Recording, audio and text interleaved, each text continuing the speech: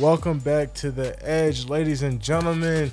Oh, it's a good week, man. We live. Welcome back to the Edge, live in your Bleacher Report. I am your host, Micah Parsons. This episode is sponsored by Nationwide for your insurance and financial needs. Nationwide is on your side. Let's get right into it. You already know I'm bringing back my brother. You know, there is no 11 without the 7. 7 11 duos back on the pod.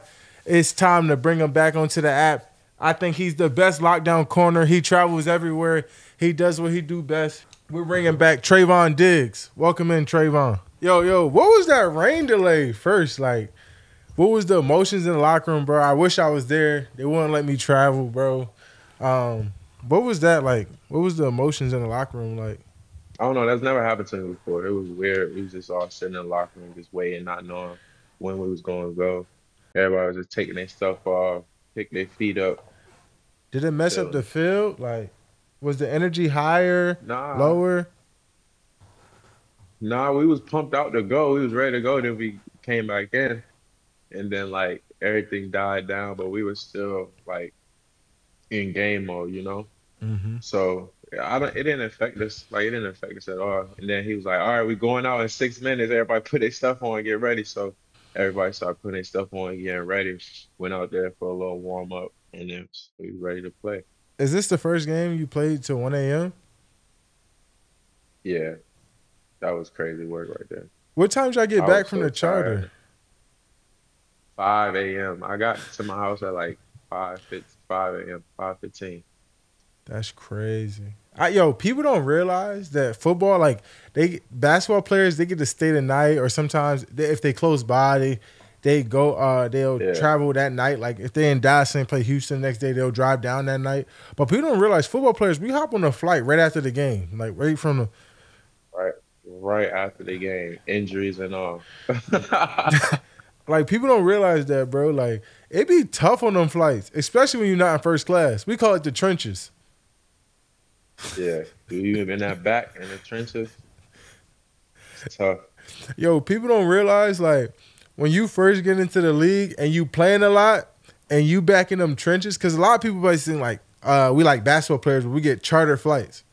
I need the people to realize that like football is like I'm gonna tell y'all, coaches and uh, you know certain staff higher ups, they in first class. You might have like ten football members in first, and everyone else is in the back of the plane. And I'm not talking about we're not talking about the economy plus because that's all media, strength coaches. Yeah. We talking about the seat don't Yeah. recline, the Yeah, The- way back. back of the plane where where you smelling gas They got oil. they got to fix that. yeah, they got to fix that. That's crazy work. All players, especially if you plan, you are like you plan like you on a 53, you plan, you definitely should have a seat that comfortable where you can recline, space. We out there working hard. We definitely deserve to be in the front. and, and they don't even repeat this. Mind you, we're in the back of the plane, and it's not like we got the road to ourselves. Sometimes you two to one.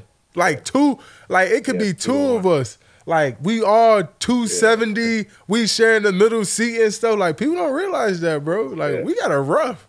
Yeah. Besides that, man, what was your takeaway? What was your takeaway from the game? You know, obviously me watching it, it was some things that I was like, bro, you know, I just felt like we were shooting each other in the foot sometimes. Like, damn, like, You um, would have you would have ate. I know it, it. It was one of them games. It was one of them games. You would have ate. hey, bro, I'm still trying to shake back. You know what I'm saying? You know, I'm trying to get right. Daily, daily lab work. Daily lab work. But you have What What'd you think of Pickens, bro? I saw I saw him getting into it with Jay Lou at the end of the game, but uh, there's obviously a lot of frustration there. You know, where that stem from?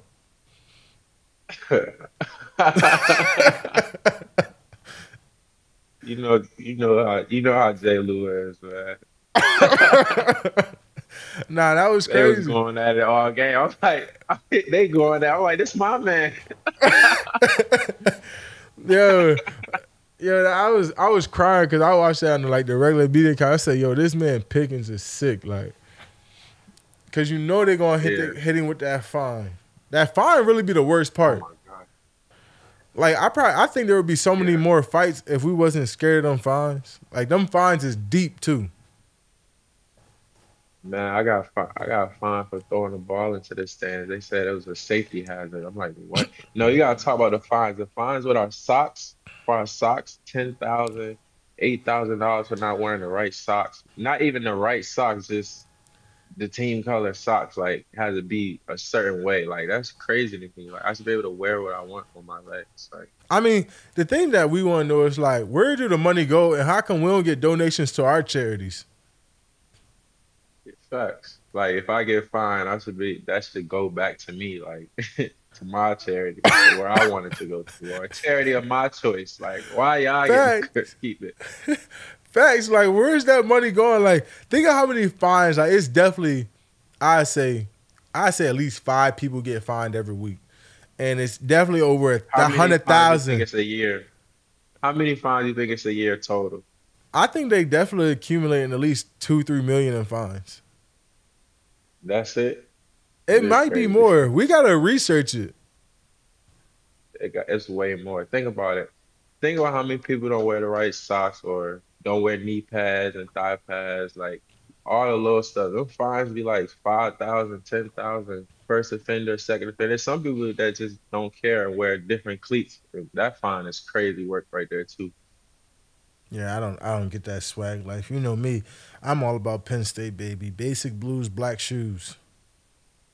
I ain't look, Mannequin. yeah, I ain't looking for nothing more than nothing less. You know what I'm saying? I don't even need the name on the back of my jersey. I don't need none of that. I just want the basic blues, black shoes. Keep it very. Bama was simple. I mean, y'all took that nasty loss. I mean, Oh my God. I was hot about that. hey, I bro. that- NIL humbled the hell out of college football. We hate it, but we love it. Yeah. It's like any given Saturday, like any given Sunday, any given Saturday. I mean, bro, I just feel like besides the, there's so many people transferring, there's so many good players that's going. Like, you can't say, "Oh, I'm going to Bama because I know we're gonna win a national championship." Like, I mean, y'all still that Yeah. caliber of team, but you can't say like Yeah. there's hella teams that's good as hell now. Yeah, yeah, it's a lot of teams that's good. And a lot of players got good players. Some Ohio State boys nice too. The wide receivers, they cold. I mean, why can't people think they win a natty if they beat Bama? Don't aren't y'all national champions, contenders? So what that mean? What you want brownie points for that? I mean, isn't it the same team what when that do? teams come and beat America's team? Isn't that the same thing? Like, it's just a big Yeah, game like, because you that? earned it.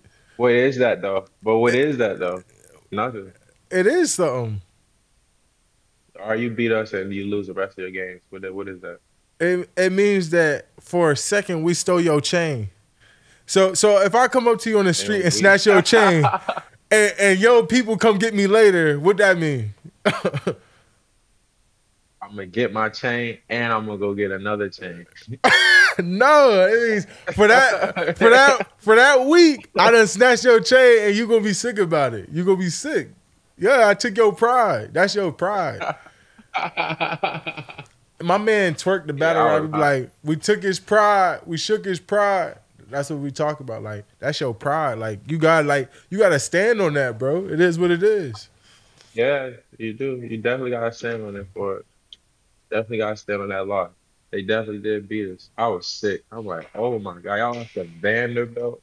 Listen, one thing I'm tired of too is like people blow up, you know, arguments or talk on the sidelines. Like they try to blow up Dak and CeeDee's conversation on the sideline. Yeah, Please tell people, bro, like when we be getting like on the sideline, most 90%, 95% of this time, it's not even argument, it's just expression of what we seeing out there, yeah, vocalizing, um, you know, basically just showing what's out there, what's available. Everything is nonstop communication. Like we're never really yeah. angry or frustrated with each other. Yeah, like we we never gonna like get to arguing with a, with someone on the sideline. Like it's either you gonna I tell you something that I see that you're doing wrong, or maybe one play I give up a pass. You'd be like, "Come on, bro! Like we need that back," or "Come on, bro! You need to you know strap like strap up." That's Yeah. not argument. That's that's constructive criticism. Like that's not, you know, arguing. I'd rather it come from you than it come from a random fan that don't know nothing about nothing and just saying Right. anything, trolling. They don't know You know what I'm saying? de- So they don't know gonna- what defense we in, what checks we making on the field, nothing. yeah, they don't know nothing. So I just feel like people just need to stay out, stay out of business. Like y'all be worried about the wrong stuff too much. Like hmm we got this. Mind your business. Move around. Man, a hundred percent, a hundred percent. I remember the last time you was on here, you kept talking about the SEC better than the Big Ten. I mean, at this point, yeah, I feel like y'all not even valid, verified or, you know, validated statement no more. Hmm? Yeah, I mean, three out of the top five teams. Well, three out of you know, yeah, three out of the top five teams is all Big Ten. It's fair. I feel like it's fair game, but when it come down to it, when it's time, that SEC ball is just different, bro. Sorry.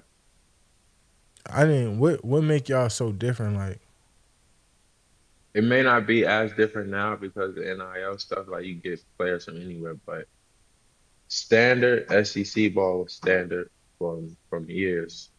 That's been the standard. I'm a, When next you- time. when we were playing, when we were playing, Big Ten is nothing. Like y'all slow, y'all run the ball, y'all don't, y'all don't do nothing spectacular. Like y'all just out there running the ball, but slow people. Saquon was looking like you think.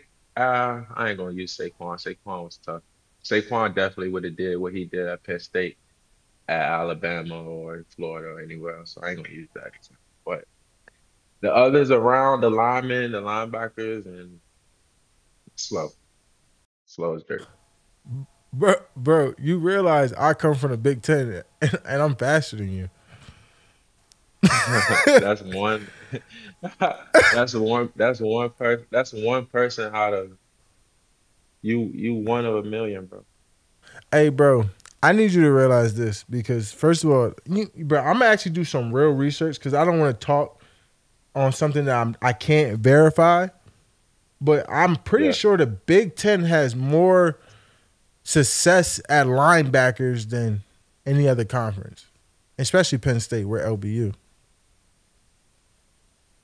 So I just feel like those aren't verified statements. Like you just don't Okay, I can do that. Like don't get on the pod. But man. are y'all are are y'all on big? Are y'all big and fast? I mean, are y'all big and slow? Like the line would be big No. and slow. Like Think about Ryan Shazier. as fast. Sh- Ryan Shazier came from as- Ohio State, and before his injury, he was Bro, literally the best linebacker in the NFL. Bro, in the SEC, you just the gameplay was just different. I'm not talking about now. I'm talking about when we played. Like when you see us flying around, eleven has to the ball, it looks like a whole new, whole different element. Like look at Alabama back in the days, bro. Look like a whole new element, whole different. Like it's look crazy. I just want to know who came from the SEC at linebacker that's like just wow. That's like dominating the, The league greatest, right now. the greatest linebacker. Okay, not dominating the league right now, but the greatest linebacker to ever play college football went to Alabama. who? Reuben Foster. You're saying he's the greatest linebacker ever in college football? Ever, yes, I don't know if I could say ever. ever, ever, ever. I'm standing on that. I don't know if Who we you got? could. Who you say? Linebacker. College. We just talking about college. I'm going with LeVar Arrington from Penn State. I mean, bro. I like the LeVar leap. I mean, bro was a two time All American. Like when things was like when the All American stuff was going on, he went back to back. He was the number two overall pick in a draft. I mean, like linebacker, like I like I you can't put too many linebackers over him in the history of college football. He's in the college football hall of fame. Like I don't know if Reuben's that. making that feat. Like Reuben's tough. Nah, he was. I mean, he was electric when he was out there. Hey, bro, it seems like but you know, sidetrack. It seems like you're speaking of Bama though. Your record is in trouble, bro, by another Bama boy. I know. You seen him? He's snapping. Yeah, Xavier McKinney, five interceptions in the first five games with the Packers. I mean, Looking sweet. there are four players who had six straight games with interception. You one of them. I mean, Yeah. you had seven in the six games. that's what it look look at look at it. Look at what that tell you right there. SEC ball. Pat just had two two picks last game. X just is going on a crazy run right now. I mean, bro. th- I mean, these are all you know, second contract generational players. What about all the other ones that y'all y'all that didn't go that way? My my whole team was fire that year. That whole my whole eleven, offense and defense, fire. And then y'all lose. Win What you mean win? in the championship. Yeah, It happens. You win something, you lose some. can't be that far. We may have got we may have got out coached that day. Like Ah, so you Yeah. said so y'all got out coached. yeah, it happens. yeah. I remember one game. No, I remember one game. We definitely like they had our number when we played uh, LSU. Oh, We played LSU. They they had Joe Burrow. They had um, Justin and Ja'Marr. Oh my gosh, they was drawing that stuff up. We couldn't stop a cold, but they couldn't stop. They couldn't stop us either. We was it was. But they won, crazy. though. That was the funnest game I've ever been a part of. Yeah, they won. I mean, bro, honestly, that that 2019 LSU team is the best team ever assembled. And I think in the history of college, I mean, even if you put that same team on a NFL, made an NFL team with that roster, they would still be at a Yeah. high level damn near. Wasn't um the linebacker there? Um, K'Lavon Chaisson. yeah. Where did Patrick Queen go? Pat Queen, I think he was at. He might have been at LSU. Yeah, he was at LSU. I mean, yo, really think about it. I think they might have had Ja'Marr, first round pick, Jets, Joe Burrow, uh, Pat Queen, Devin White. Was Stingley on that team then? I think he might have been a freshman. Yeah, Stingley was on that team. Stingley too. was a first round pick. Yeah, pick. Patrick Queen was on that team too. They had a Yeah. mob. Grant Delpit was on They that mob. team. Um, Yes. They bro, I think they might have had at least twelve to 13 first round draft picks. Yeah, they had a. And then and the re- I think I think it, it was a out of they starting, I think 19 players got drafted. Like that's crazy. yeah, they had a mob. Yeah, I don't know how they put that together. You think you think X is on a defensive player? Do you think a deep? I always talk about this. You think a a defense like a DB, but since Gilly, no one's have won defensive player year as a safety, a corner. I mean, you even had 11 Yeah. interceptions in a year and didn't win. I mean, do you think it's Right. possible? And it Bland broke the pick six record and didn't even come close in the Yeah, polls. that that gotta. Yeah, that gotta that gotta change, bro. That's not right. Like these are historic moments in history, like in history of football. These are historic moments. They're, we're doing historic things. Like how are you not? But how how did Bland win Defensive Player of the Year? Like no one has ever done that. Like that is history. You get what I'm saying? Like mm-hmm. that's just crazy. I just feel like it's biased towards like y'all, you know? Like they don't give us a chance. Like even the year that Gilly had won it, Gilly, I feel like Gilly only won it that year because who was it got hurt or something? Someone that year got hurt, like a lineman that got hurt. Like I bet if the lineman was still I mean- he would have won. Like like do you think a DB disrupt the game more or a rusher or a tackle because what do you weigh in more like sacks, pressure, uh disruption or turnovers? I mean cuz I feel like y'all can only go like- as we go. Yeah, I feel like it go hand in hand with each other. Like if you ain't if you're not out there getting them sacks, I'm not out there probably making plays on the ball. You get what I'm saying? But Mm-hmm. at the same time, there's players that's like on teams with with rushers like and their corners and defensive backs don't be getting no balls. They don't be getting no interceptions or Yeah. nothing like that. So it's like they be batting the ball down. Like how you got somebody doing all this rushing and you don't got no picks. Hundred percent. when I got that good, when I had got that good rusher, it was on and popping. Yeah, I man, when we came in, we were striking. Yeah, no remorse for nobody. I mean, Jayden. I mean, let's you know, let's move on. I mean, Jayden Daniels, he ran on his run at LSU, but I mean, the Commanders are now four and one. They got their best start. He's the first player in NFL history to have a thousand over a thousand passing yards, two hundred fifty rushing yards in his first five career games. You think he can have a chance at winning MVP? Definitely, he's tough. Tough. We, we gonna have we gonna have some we gonna have some problems with them. Nah, for sure. We definitely gonna have to find a way to contain them. But we got some young players too Yeah. that's hooping right now. Demo, Maris, they running, running. yeah, fact. They hooping.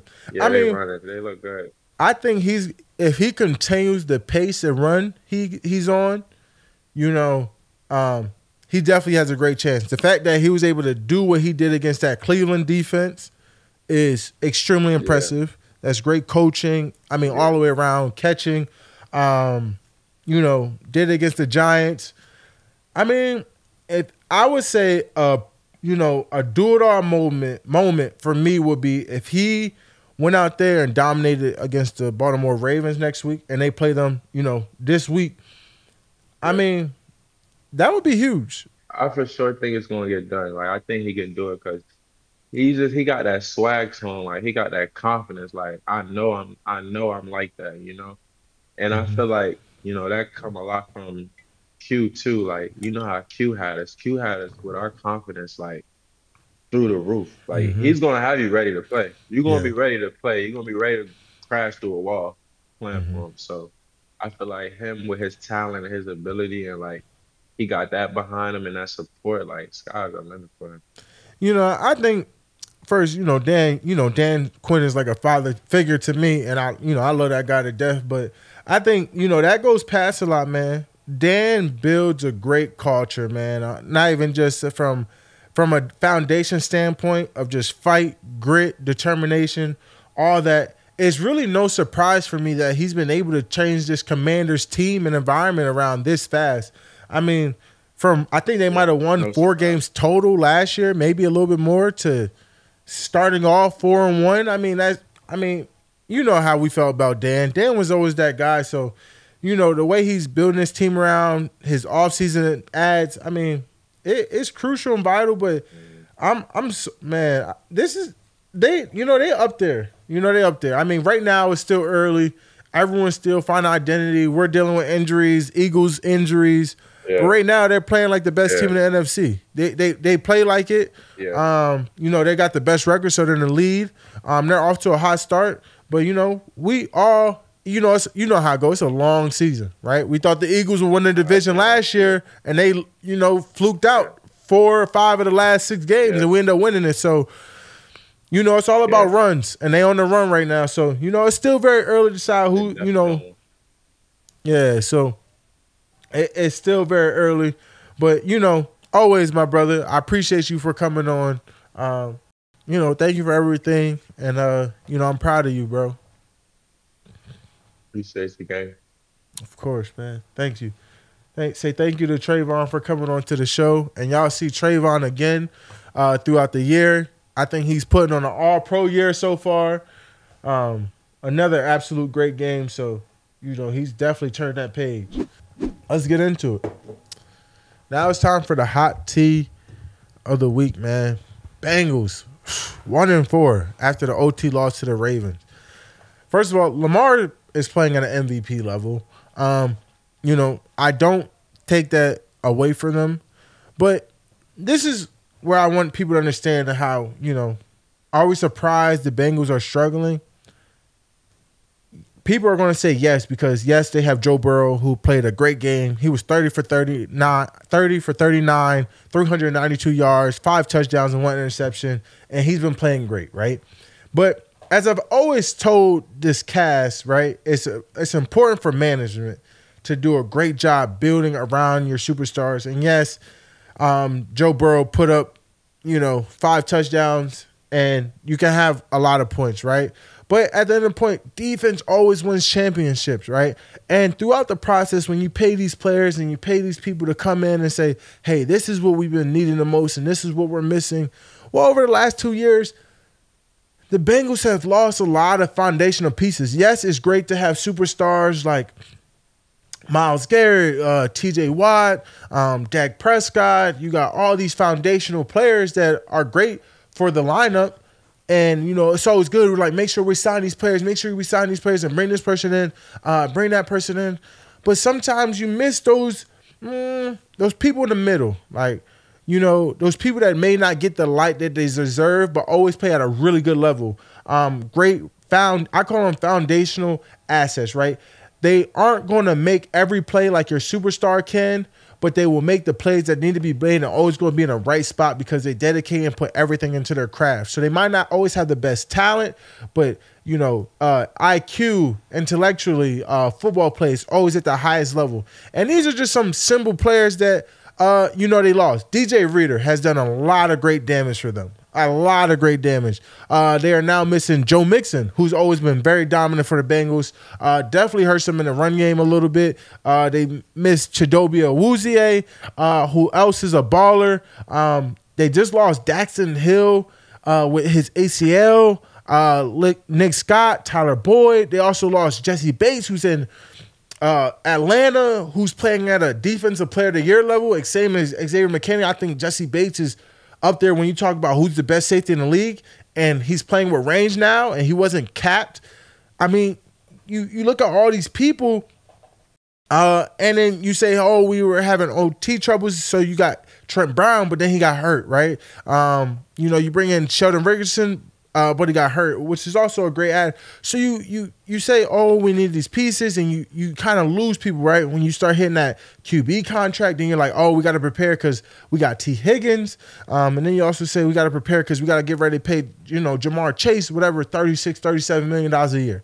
You know, that's just the reality. When you pay these players, you got to hit on the draft picks, right? And you got to, you know, the, the injuries are strugglers. Like when you, you know, uh, you know, uh, we got you know, we kind of got lucky, right? Um, you know, DaRon Bland, he puts the work in, he got better and better. And, you know, when Trevon uh, had got injured, he was able to capitalize on those opportunities and he just got better and better. He ended up being an all pro corner for us.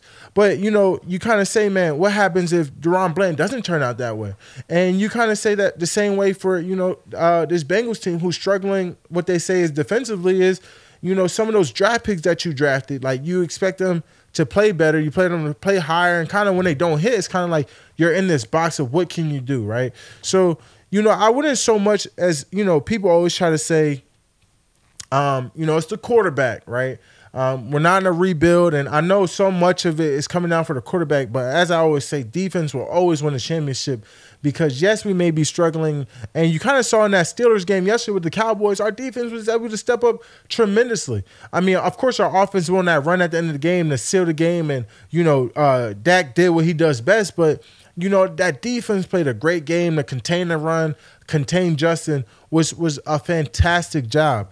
But it, I would say the same thing right now for you know the Bills. You know, um, you know they had a lot of people under contract you know, they kind of wanted to run with the Poyer, and they was in that, you know, they was in that, uh, you know, that league of oh, we got a lot of really good players, and we can afford them because you know that QB number didn't hit yet. You know, they had uh Diggs, they had Gabe Davis. Now you're saying, oh, we lost Gabe Davis, uh, we lost Stefon Diggs. Where do we go in this direction, right? And then they lost a lot, you know, defensively. You know, Matt, I would say he's another player that you know he was kind of like the guy that was talking about was you know, he was around a bunch of great guys on that defense, but he just got so much better. Then he ended up becoming an all pro linebacker. Of course, he got hit with injuries again, but that's a guy who's a great, great, great linebacker that they hit on. So you just kind of always kind of gotta get lucky with these pieces. And you know, same same thing with Josh Allen, man. He went nine for 30. Um, you know, it, it's a different level when you got these high caliber players, man, that kind of find ways to get open. You know, you could, you know, a team got to tilt away. So now you got, you know, receivers out there. Yes, they're young, but they're still learning the game. I think this is just all part learning the game. Um, you know, you can't, you don't like, you know, when Stefon Diggs is out there, you got to still, you know, tilt the defense, tilt the coverage to him. Same thing with CeeDee. When you got these high caliber players, they require a lot more tensions, which allows a lot more players to be better, to eat more. And that's kind of why you need those all star players. But I just call this, you know, struggling, man. You know, between draft, uh, injuries, things like this, man. Sometimes it's coaching, but sometimes, you know, we just got to hit. You need, you need players to play better, man. Um, and, and and that's just the reality of it. You know, sometimes people always talk about the cap. Yeah, the cap is not necessarily real, but I mean, you can't have five superstars on your team, and, and that's just the reality, man. And, and it goes to show, man, like a team can only be good, but for so long, but for so long, like you gotta hit draft wise. The Chiefs, why were they let, able to let you know L'Jarius Sneed walk? Because they hit on Trent McDuffie. McDuffie is a you know you put him in that conversation of top five, top ten corner in, in the NFL. I mean, he was an All Pro last year, so I mean, obviously he's in that top five category of people who play like abilities and things like that. And you talk about their linebacker, they hit with Bolton. You know, he's in my draft class. Bolton's ex- extremely good. Um, you know, Karlaftis, the DN, they hit with him to go with you know Chris Jones. I mean, so when you talk about, oh, we might have to go get someone, and when you hit on it in the draft and it pans out to be very good, it's always a great sighting. So you know, you always kind of be excited for those type of things. Um, so it, those are just prime examples about like how the cap works when you hit on players and why some teams don't go through that struggle phase, right? The Chiefs have been dominant for a while, but they kind of hit, right? You and then you kind of see that Rashee Rice situation where, you know, he was looking up to par. He was looking like a true number number one receiver, and then the injuries hit right, and uh, we don't know what they're going to look like now. But you know, when you let when they let go of Tyreek, you know they kind of brung some pieces in and drafted some, and you know they were you know turning things around. But you know they did very good draft wise, recruit uh, not recruiting, but you know scouting and things like that. So that that just you know it just always explains it, man. It, it, I, you know it's it's tough to say because you know, sometimes quarterbacks do play bad games. And, you know, I played bad games before my career. Uh, you know, the great Tom Brady, the greatest quarterback ever to live, probably would tell you himself he played some bad games. Bad games is going to happen at the end of the day. You know, uh, you know, a lot of things ain't going to come on to Rodgers. Um, with his game, I saw a lot of things with that. You know, bad games is going to happen. That you know, in the reality of life, right? You're always going to have a bad day ain't no day going to be a great day. But the ne- the point of thing is is how do we come from a great day to have a better day the next time you come out you know have a better how do I wake up with a smile at the end of the day that's what it's all about. So you know those bad days going to happen, but it's all about like how can I consistently keep getting better and not you know you know when the coach realized you know this player's not playing up to better we're dealing with this injury we're trying to stabilize this man how can we make our roster better especially at this point in the season it's tough right it's all about trials and tribulations at this point, and we're all gonna go through them. You know, moving on forward to it. And speaking of trials and tribulations, it's the Davante Adams. You know, requested a trade from the Raiders. You know, it's it's tough to say where he ends up, and it's tough to say uh, what's his best fit. Obviously, his best fit is with you know, you know, a great quarterback. Um, Davante Adams is has been consistently one of the best receivers in the NFL, um, without a doubt. But you know, I, I, I think that relationship with the Jets is going to come to life. Um, and you know, I think he brings a winning culture to a team, man. I think he's a guy that will build up the. From my interactions with him and being around him, he's an uplifting father, uh, man, and teammate. I mean, I think he brings any team to a win. He's been in winning cultures before. He's kind of helped change this Raiders team around. Him and Maxx Crosby.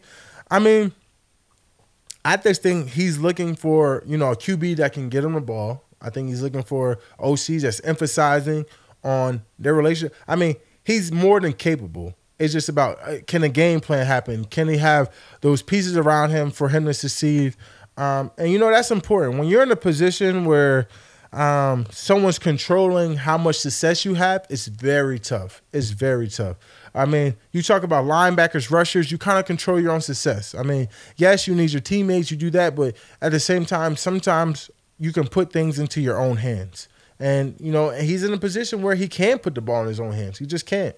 So, um, it, you know, it's tough, man. But you always kind of say, "I wish the best for Davante," and you know, go from there. Let's talk about someone who's doing so much more than their team. Just like how Nationwide is so much more than a great insurance company, they're a financial services company too. We mentioned him last week with Slay, but I had to give him his actual flowers. That's Boise State running back Ashton Jeanty.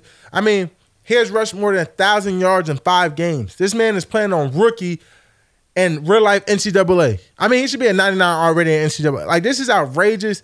I think he is the favorite for the Heisman. I, even though Travis Hunter and Cam Ward, I think those two players, and we'll get into a little bit. Those two players have been. These three players are the I think have been the best players in college football besides Ryan Williams and uh, Smith from Ohio State. You talk about them five players have been the most absolute lights out players. Um, when you talk about Heisman candidates about who can actually win, those five players strike me the best so far uh, in college football. One, I mean, bro, I seen some of the runs. He's breaking like 10 tackles to get into the end zone. Like this is outrageous stuff. Like I'm not saying he can't do this in the NFL because yes, I mean he will go against some of the best linebackers in the world at this point. But what he's doing this this feat, I think. I mean, I I think he has a chance to break major records, man. Major. I'm talking about records we ain't seen that can be touched, like over two thousand. I mean, if a running back goes for over two thousand, you know, if he breaks these type of records, man, I don't like. I feel like these are the records where he's doing numbers where the running back used to get handed the ball thirty times a game. I mean, he's doing this off twelve to fifteen carries. He's having ten point nine yards a carry. Like this is outrageous. I mean, right now he has ninety five carries for thousand and thirty one yards. Like, this is just outrageous. Like, man Oh man. Um, you know, people say he's not doing this in a Power Five conference. I say, regardless of conference, it doesn't matter. If you're doing this at a high level, especially Boise State, when so many great players came from there. I mean, Leighton Vander Esch, look what he was able to do in our in our league, and he came from Boise. I mean, it doesn't. DeMarcus Lawrence came from Boise. Like you're talking about great players that were successful in the NFL came from this place. Like we can't just say, "Oh, it's Bo-. no, bro." That isn't Boise was once a powerhouse, bro. Like, please do not do this, bro. If you're if you're dominating at any level of college football, you're doing great for yourself. Like that is a like if you went to a HBC. Travis Hunter was at a HBCU, right? He was dominating HBCU. Y'all said the same thing. He went to Colorado. Now what's he doing? He's still doing it. Like that stuff does not matter, man. If you're if you're a dog at one place, if you're a dog, you're gonna be a dog no matter what. Period. Period. That, like that's just outrageous, bro. Um, will he be a top ten? I think he can be. I think. I, now I haven't purely broke down his film to give you his comp, but the way he's running, bro, his, like if he has you know Christian McCaffrey receiver skills or something like that, he could definitely be a Saquon, Christian McCaffrey type, especially with the way he's breaking tackles, how shifty he is and explosive, hundred percent. So, and then you know I want to give my my flowers to Cam Ward. I seen back to back weeks where his poise, his determination, his relentless attitude of teammates and expecting more. I, I mind you, I've never met Cam Ward a day in my life. Um, but from what I've seen on a football field, when you talk about a quarterback who I would want my team, it would be Cam Ward. I mean, early Virginia Tech came back. Now he's down 21 against Cal and comes back. What does that say about how much his teams believe in Cam, right? One's like, we know we got a guy. Well, now what does that say to Cam, how much he believes in his process, his teammates, right? That all matters, bro. When your quarterback is locked in like that, I mean, I think he's playing out. If, bro, I mean, Cam Ward. I mean, I think he has a chance to be, you know, the first quarterback taken. When you look at what he's doing right now, I mean, doesn't care about the intercept. Like I could just tell it's next play, next play. Like he truly got that dog mentality, can do it all. He's reading coverages. He's one of the ones. He's one of the ones.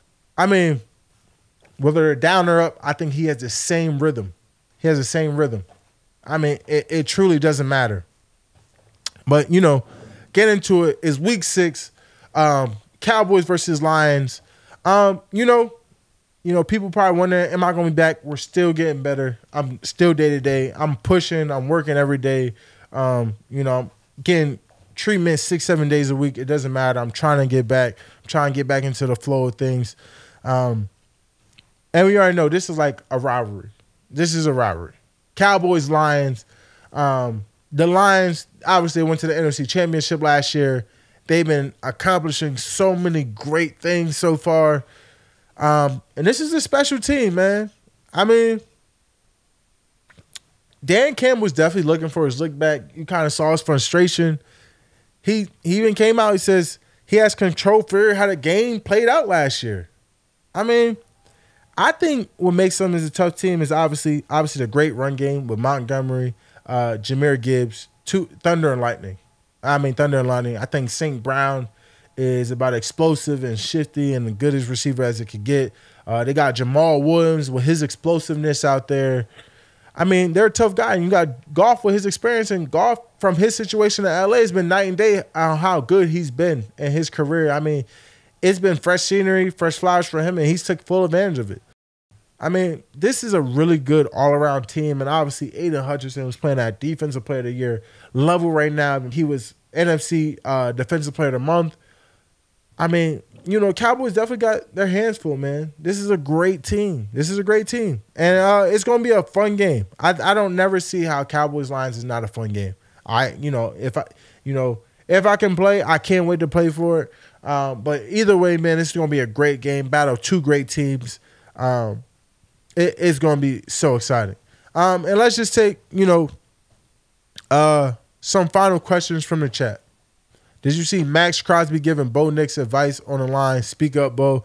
Yeah, that's just who Max is. He's just that type of dog, man. He's always gonna um, come with energy, excitement. That's just what he does. Uh, Jerry Jones helicopter landed on a turf field during practice last week. How often does happen? Uh, it usually ha- doesn't happen before practice, during practice, but it usually does happen. Um, you know, he does ride a helicopter uh, quite often. But you know, I want to thank, you know, Trevon. I want to thank Nationwide. And obviously, I want to thank everyone who's tuning in for the show. It's always great. It's always amazing. I'll see you guys next week. Thank you for tuning in to The Edge.